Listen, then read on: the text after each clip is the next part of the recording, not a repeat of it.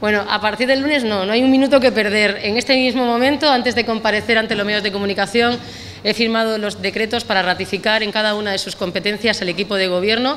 Como nos comprometimos hace dos años, este es un gobierno estable para todo el mandato, para toda la legislatura y me acompañará todo el equipo de gobierno en las tareas que han desarrollado hasta ahora magníficamente y todavía nos quedan dos años por delante.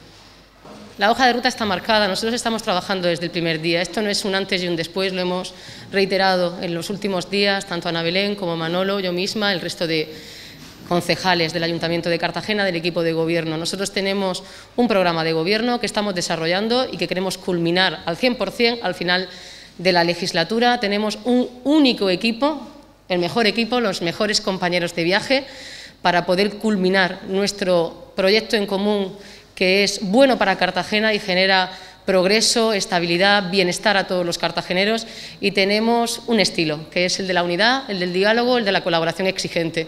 Eh, los retos, ustedes ya lo saben, los conocen, son los desafíos sobre los que estamos trabajando. Recientemente la propia alcaldesa, ahora vicealcaldesa, ha podido hacer balance de toda la gestión de estos dos años del equipo de gobierno. Hemos desbloqueado y nos sentimos muy orgullosos eh, proyectos claves estratégicos que acumulaban demasiados retrasos y seguiremos en esa dirección.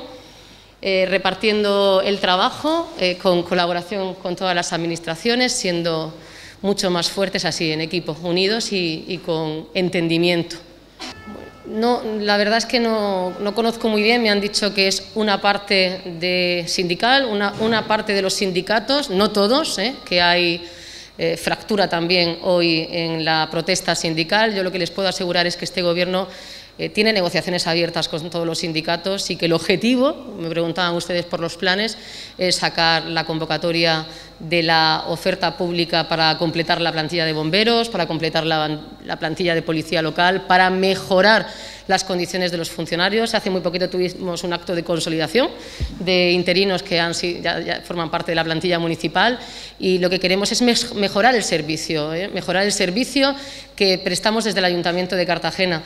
Creo que no es el día, creo que no es el día para realizar esta protesta, sobre todo cuando tenemos una mesa de diálogo y cuando todas las semanas existe un canal directo de comunicación con el Gobierno y con la concejal de Hacienda. Así ha sido desde el principio de legislatura y, por supuesto, yo estoy eh, mi mano, ¿no? yo estoy por la labor de seguir manteniendo el estilo que ha primado desde el primer día en este pacto, que es el diálogo, la unidad, el entendimiento y la responsabilidad. Yo lo he dicho en mi intervención, eh, tuve la suerte de contar con el apoyo de mi partido desde el primer día. Eh, tuve la suerte de que mi partido entendiera que debía poner el partido a disposición de los cartageneros, al servicio de los cartageneros, anteponiendo los intereses propios, particulares eh, del partido, perdón, anteponiendo los intereses generales a los propios y de partido, a los que no resuelven los problemas. ¿no?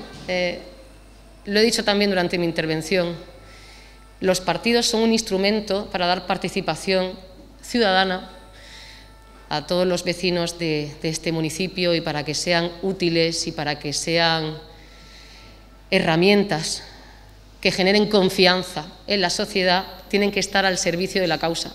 Y nosotros teníamos una situación extraordinaria al principio de legislatura. El resultado electoral ya lo conocen ustedes, fue un ayuntamiento muy fragmentado, y seis grupos políticos. Ningún grupo tenía la mayoría suficiente para conformar gobierno. El partido que ganó por un concejal ¿eh? las elecciones eh, fue incapaz o no quiso buscar apoyos. No pudo conformar un gobierno estable para Cartagena. Nosotros sí. Y funciona. Y ni esto empieza ahora, como he dicho también en mi intervención, ni considero que tenga fin en 2023 este gobierno tiene